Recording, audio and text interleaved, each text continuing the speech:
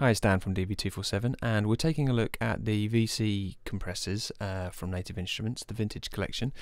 Uh, in the first video we looked at the 160, the VC160, and now we've got the VC76 which is based on the 1176 uh, classic compressor, uh, absolute staple. Uh, one of the best things about the 1176 uh, and the VC76 in this case is it's a very very versatile compressor even though it's got not many controls that you'd see on a classical style compressor compressor. So you've got an input, an output, and your attack and release. Uh, it's a fixed uh, threshold compressor, which means what you do is you actually drive the input into the threshold, which means more of the signal will pass the threshold as opposed to a, a variable threshold.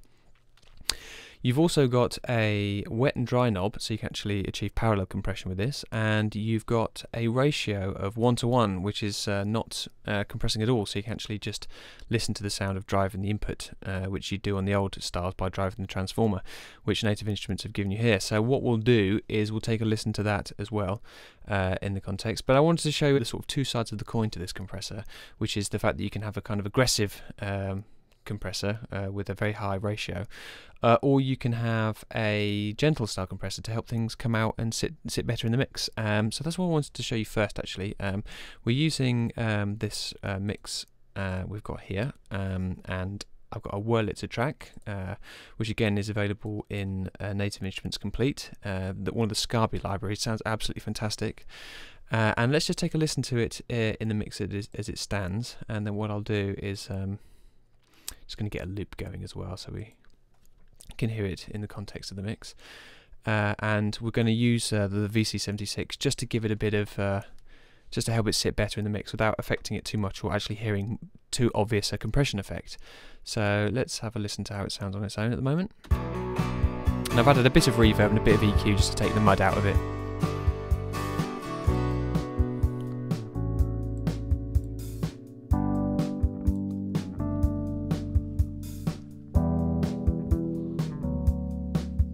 So it decays a bit quickly, so I'd like to just work on that a little bit with the compressor.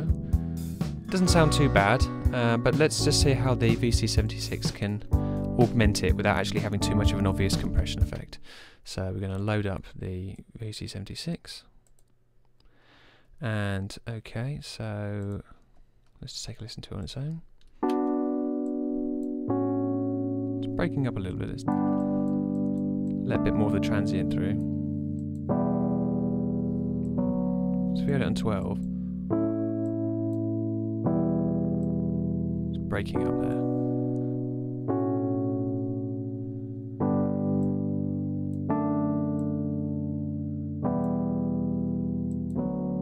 It's putting quite a lot of compression. But let's see how that sits in the mix now. It sounds it sounds a bit compressed, so I'm going to take that down to about 8 and see that hear that again.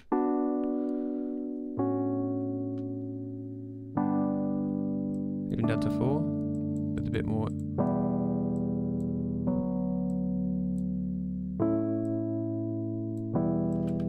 Okay, so it sounds good on its own, but let's see how it listen sounds in the mix.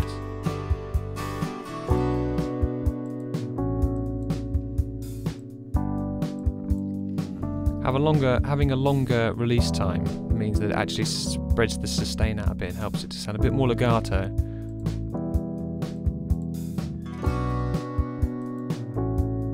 So with a few knob clicks, you've actually got a quite an effective sounding compressor. So if we take it out, see how it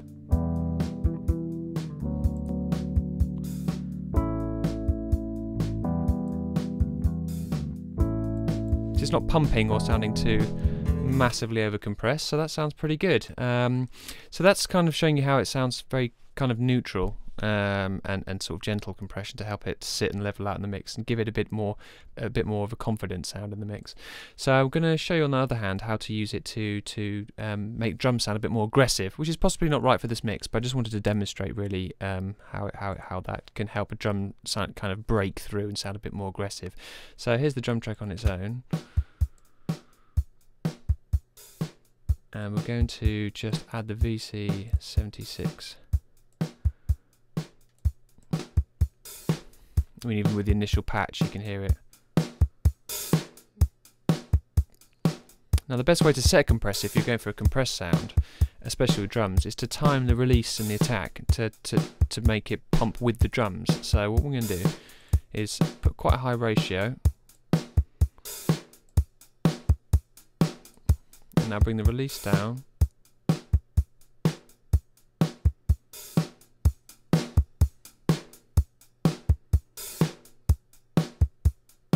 There we go. That's, that's letting all the transient through there. That's clamping down on the initial transient. Let a bit punch come through, and then bring it down to something like 8. 8 to 1 there. Bring the input down a bit. So it's pulling 10 dB of compression there. So let's see how it sounds with and without. Given that classic sort of a, uh, it's a bit more pumpy.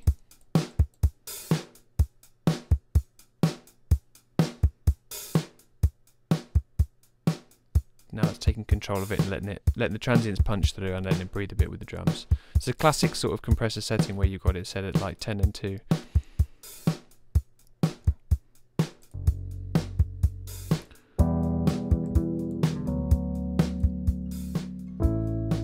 So you can hear the difference that's making. Uh, now one of the things I, I, was talking about before is the fact that you can actually set it a ratio of just one. So all you're doing here is just driving the input. And if you wanted to get a bit more of a sort of um, aggression out of a sound without actually having any kind of compression effects other than the, the actual compression from distortion where it starts to clip and clip the, the peaks and sort of level things out. Um, this is this is good for that. So let's take a quick listen, see how that sounds.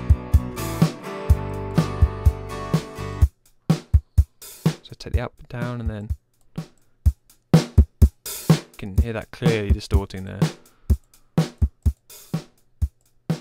But it's not actually compressing anything. You see the meter there? It's not actually putting any gain reduction down. So let's, if we level match it as well. You can hear it the transit the effect of a transistor on a kick drum. That'll actually help the kick drum um, on things like um, iPod docks, where it actually adds upper harmonics to um, to the areas of the signal that you, which sounds like the kick, wouldn't usually be picked up in something that doesn't quite get a, a low reach like uh, small speakers. But um, so you can clearly hear the effect of the compressor there.